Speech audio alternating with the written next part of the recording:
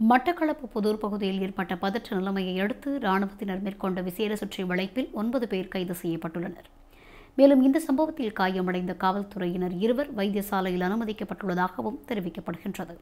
மேலும் இன்று காலை பதினோரு மணி அளவில் மட்டக்களப்பு புதூர் திமிலைத்தீவு பகுதியில் தலைக்கவசம் அணியாமல் மோட்டார் சைக்கிளில் பயணித்த இருவரை தடுத்து நிறுத்துவதற்கு போக்குவரத்து காவல்துறையினர் முயற்சித்துள்ளனர்.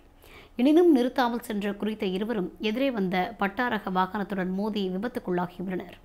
இதனைத் தொடர்ந்து குறித்த பகுதியில் குவிந்த இளைஞர்கள் சிலர் போக்குவரத்து காவல்துறையினருடன் வாக்குவாதத்தில் ஈடுபட்டதுடன் காவல்துறையினர் மீது தாக்குதல் மேற்கொள்ள முயற்சித்ததாகவும் காவல்துறையினர் தரப்பில் கூறப்படுகிறது.